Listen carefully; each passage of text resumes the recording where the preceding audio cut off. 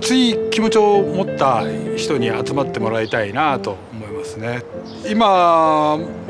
より以上にですねもう活気にあふれるっていうのはやっぱり一番いいんですけどもその活気にあふれるベクトルの向かい先っていうんですかねそれはもう今はその国内のっていう言葉も多いんですけどももう少しこう世界に目を向けたガッツのある人に入ってきてもらえるとすごく嬉しいなと思います。私の専門は、えー、基礎栄養学というのを専門で教えてます。例えば栄養士さんが食事指導をする際にも実際に管理栄養士として食事の指導とかっていうことをする際にはやっぱその裏付けとなる理由が必要ですしそれをやっぱりきちんと理解してるかどうかっていうことは説得力に大きな差が出ると思うのでやっぱその分をしっかりと抑えてもらいたいなと思って授業をしてます。やっぱり違いますね高校までは何歳ですかねはいここが大事ですみたいなそういう授業もあったりするだろうと思いますしここがテストに入れますとか言うと思うんですけど少なからず僕はあんまりそういうことは言わないのであのどこが大事なのかっていうのはやっぱり繰り返し言うのでちゃんと分かるか分かると思うんですけどもそういうなんだろうな高校みたいな親切なのはないと思うんですね。3年生の夏休みと4年生になる時の春休みに臨地実習といって、えーまあ、病院ですとか保健所ですとかに、えー、実習に行くんですけどもそれがもうやっぱり教育としてはそこにこうターゲットを合わせていますのでいかに有意義に学べるものを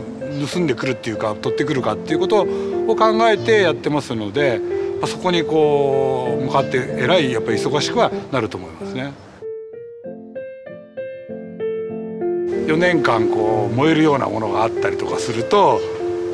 その勉強以外でですねあるとやっぱりその分だけやっぱ勉強にも集中して取り込めると思うのでそういうものを見つけてほしいなとは思いますね。学校のその授業の内容ももちろんですけどもやっぱり社会を生きていくためには一人じゃ生きられないので人間関係っていうんですかねそのコミュニケーションの取り方をですねやっぱりしっかり学んでほしいなと思います。特に栄養士の仕事も食事指導とかいろいろありますけれども一人ではできませんので対、えー、クライアント患者さんだけではなくて一緒に働く人たちとの関係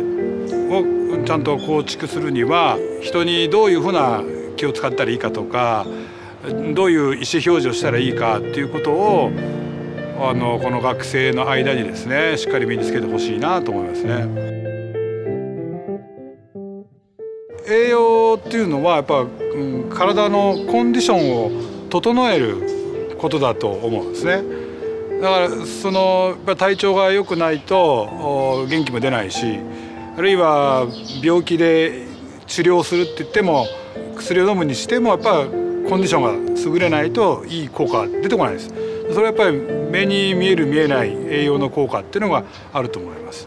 でそれはその例えば健康な人であれば、えー、この高齢社会でお年寄りが QOL を高めるっていうことはすごく大事なことですし広い目で見るといろんなところにつながってくるのでまあ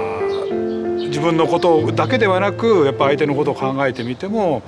栄養をしっかりするっていうのは大事なんじゃないかなと思います。